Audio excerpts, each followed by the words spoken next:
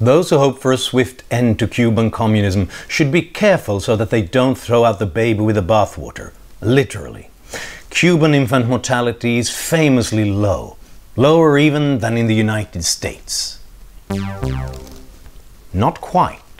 This is an interesting example of how naive we often are when dealing with dictatorships. They want to give the impression that they can give people something that freedom can't. And many take their word for it, including the United Nations. But for starters, infant mortality was very low before the revolution was even a glint in Fidel Castro's eye, about a third of what it was in Spain at the time. How could they continue to make it go down even further? Well, by using smoke and mirrors.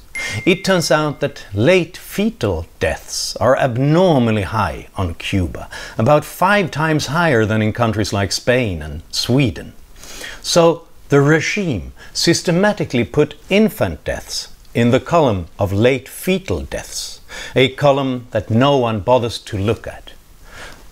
Adjusted for this, infant mortality is twice as high. But of course, Cubans who say this are jailed. So, how can poor dictatorships consistently present impressive health data? Not having a free press helps.